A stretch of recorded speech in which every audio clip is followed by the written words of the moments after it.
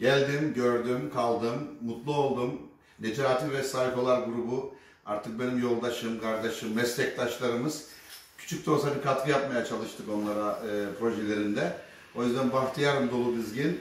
Mutluluk lambaları hiç sönmesin, yolları açık olsun. Her zaman da Volkan abileri veya Volkan arkadaşları yanındadır.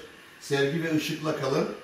E, grubumuzu izlemeye, takip etmeye devam edin. Artık biz bir ekibiz.